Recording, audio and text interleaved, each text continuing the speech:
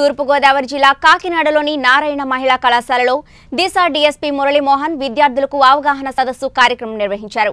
ఆయన మాట్లాడుతూ విద్యార్థులు వారి యొక్క మానసిక స్థితిని దృఢంగా ఉంచుకొని ఉజ్వల భవిష్యత్తు వైపు నడవాలని సూచించారు. మరిన్ని విషయాలు మా నైన్టీ న్యూస్ ప్రతినిధి సాగర్ అందిస్తారు.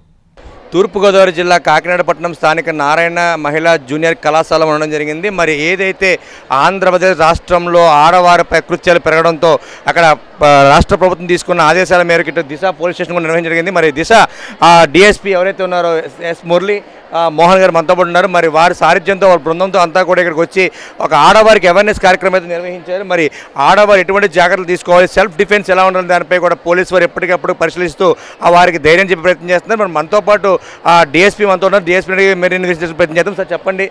ఈ రోజు ఈ- కాలేజీ కార్యక్రమం పెట్టారు. అసలు ఈ- ఈ కార్యక్రమం ముఖ్య ఉద్దేశం అంటే ఏం చెప్తారు? మీ అందరికీ తెలుసండి మనం ఎన్ని చట్టాలు తయారు చేసినప్పటికి కూడా పిల్లలు ఆడపిల్లలు మగవారితో ఎంత ఎంత ఈక్వల్ అని మనం అనుకున్నప్పటికి కూడా తల్లిదండ్రులు అందరినీ ఆడపిల్లల్ని ఎంత చదివిస్తున్నప్పటికి కూడా కొంత వివక్షత అయితే ఆడపిల్లలు గురవుతున్నారు ఖచ్చితంగా. ఆడపిల్లలు నా నా ఉద్దేశం ప్రకారం ఆడపిల్లలు mentally strong no doubt. Mentally too strong than gents. అందుకని ఈ ర్యాంక్స్ అని కూడా వీళ్ళకి పిల్లలందరూ కష్టపడి చదువుతారు వీళ్ళకి వేరే వ్యాపకం ఉండదు. కానీ ఫిజికల్గా వచ్చేటప్పటికి మగవాళ్ళతో పోలిస్తే ఈక్వల్ అన్న కానీ కొంచెం ఎంతైనా కొంచెం ఫిజికల్గా అంత ఈక్వాలిటీ అని అనిపి- అనిపించట్లేదు. అందుకనే ఈ అరాచకాలన్నీ జరుగుతున్నాయి ఎన్ని చట్టాలు చేసినప్పటికి కూడా. ముందు మెయిన్ మనం అవేర్నెస్ కల్పించాలి వీళ్ళలో. అవేర్నెస్ ఏంటంటే అసలు చట్టాలు వీళ్ళకి ఆడపిల్లలకు అనుకూలంగా ఏ చట్టాలు ఉన్నాయి. అలాగే వీళ్ళని ఎడ్యుకేట్ చేస్తాయి. వీళ్ళు రేపొద్దున్న ఒక ఆడపిల్లగా ఒక చెల్లిగా ఒక అక్కగా తల్లిగా రేపొద్దున్న కుటుంబాన్ని బాధ్యతని కానీ అలాగే దేశ భవిష్యత్తుని కానీ నడిపించే అవకాశం ఉన్న పిల్లలు వీళ్ళంతా. వీళ్ళందరికీ అవేర్నెస్ కల్పిస్తే రేపొద్దున వీళ్ళు వీళ్ళు నేర్చుకోవడమే కాకుండా ఇంటికి వెళ్ళిన తర్వాత ఏది చేయకూడదో ఏది చేయొచ్చు అన్నది వీళ్ళ బ్రదర్స్కి నేర్పుతారు. అలాగే వీళ్ళ ఫాదర్కి చెప్తారు. అలాగే నైబర్స్కి చెప్తారు. వీళ్ళ బంధువుల పిల్లలు చెప్తారు.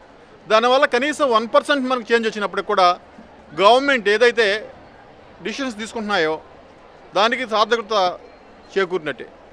అందుకని కొత్తగా సెపరేట్గా మీ అందరికీ తెలుసు దిశా పోలీస్ స్టేషన్ ఏర్పాటు చేసి దాన్ని ప్రత్యేకమైన స్టాఫ్ ఇచ్చి అలాగే వాళ్ళకి శాలరీస్ కూడా కొంచెం పెంచి ఇవన్నీ చేస్తుంది గవర్నమెంట్. దానిలో భాగంగా ఇవాళ నారాయణ కాలేజీలో నేను నారాయణ కాలేజీ యాజమాన్యానికి కృత మా దిశ పోలీస్ స్టేషన్ తరపున ఈస్ట్ గోదావరి పోలీసుల తరపున కృతజ్ఞతలు తెలుపుతున్నాను ఎస్పీ గారి తరపున. ఎందుకని మేము అడగగానే ఒక అవేర్నెస్ క్యాంప్ మనం కండక్ట్ చేద్దామంటే విత్ నో టైం నేను చెప్పాను ఇవాళ ఇంత చక్కటి కార్యక్రమం ఇంతమందిని గ్యాదర్ చేసి చేస్తున్నందుకు వాళ్ళకి మనస్ఫూర్తిగా అభినందనలు తెలుపుతూ ఈ ఆడపిల్లల విషయంలో మా సైడ్ నుంచి ఏమైనా అవసరం వస్తే ఆల్రెడీ నెంబర్స్ ఇవ్వడం జరిగింది. క్విక్ రెస్పాన్స్ ఉంటుంది ఖచ్చితంగా. అలాగే ఇప్పుడు మేము ఏవైతే అవేర్నెస్ చేస్తామో చెప్తామో అవి మీరు కంప్లీట్గా పాటించాలని కూడా మీ అందరిని రిక్వెస్ట్ చేస్తున్నాను. థ్యాంక్ యూ అండి. చాలా స్పష్టంగా చెప్పడం జరిగింది. ఆడవారిపై జరిగిన అకృత్యాలు ఆపే విధంగా కూడా మా ప్రయత్నం జరుగుతుంది. ఎందుకంటే ఆడవాళ్ళు మెంటల్గా స్ట్రాంగ్ ఉన్నప్పటికీ కూడా కొన్ని విషయాల్లో వాళ్ళు కొన్ని డౌన్లో ఉంటున్నారు కాబట్టి అరాచకాలు స్టార్ట్ అవుతున్నాయి. ఎన్ని ప్రభుత్వాలు ఎన్ని చట్టాలు పట్టుకొచ్చినప్పుడు కూడా అరాచకాలు ఆడలేదు ఈక్వ మైనస్ ఉంది కాబట్టి మరి ఈ రోజు నుంచి మేము ఏదైతే తూర్పుగోదావరి జిల్లా ఈ దిశ పోలీస్ దిశ డిఎస్పీకి ఎవరైతే ఉన్నారో వారు వ్యవహరిస్తున్న శైలిని చూసి చాలా అభినందనీయం. ఎందుకంటే ఆడవారి పట్ల వారికి ఉన్న గౌరవాన్ని కానీ వారికి ఉన్న జాగ్రత్తను కానీ మరి చాలా స్పష్టంగా కనబరుస్తుంది. మరి ఇది ఉన్న పరిస్థితి. Camera person వెంకటేష్తో Sagar nineteen news Kakinada. Narayana college